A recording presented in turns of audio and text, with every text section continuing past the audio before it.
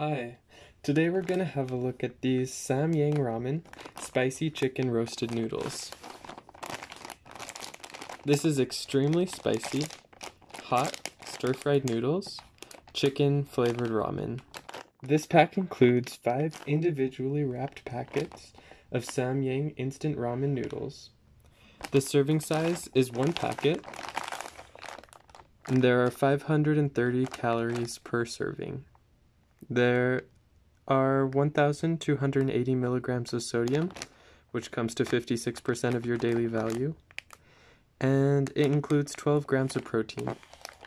This ramen is 100% halal certified, and in order to cook this, put the noodles into boiling water for 5 minutes, and you will throw away the water except for 8 spoonfuls of that water, and you'll put the liquid sauce and stir fry that back in with the noodles for 30 seconds.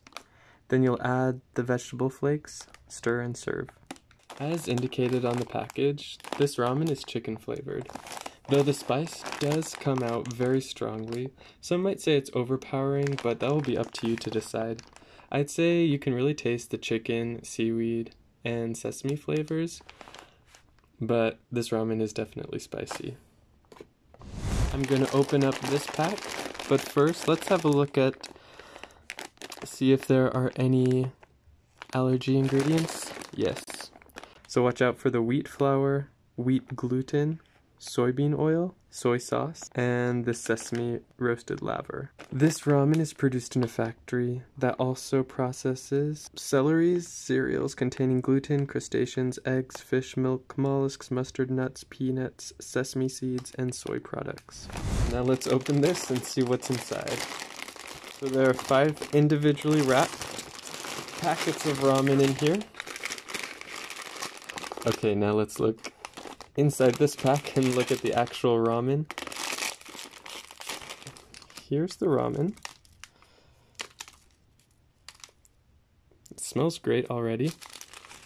And the noodles are, yeah, quite thick and quality. This flavor packet, like a sauce, not a powder. And this is the veggie packet.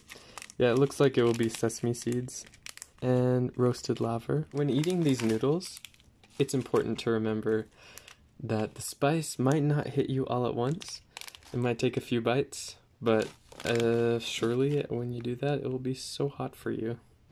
These noodles are easy to cook and they taste amazing. It's great for a quick meal, whether you're at home, at school, at work. You could add an egg.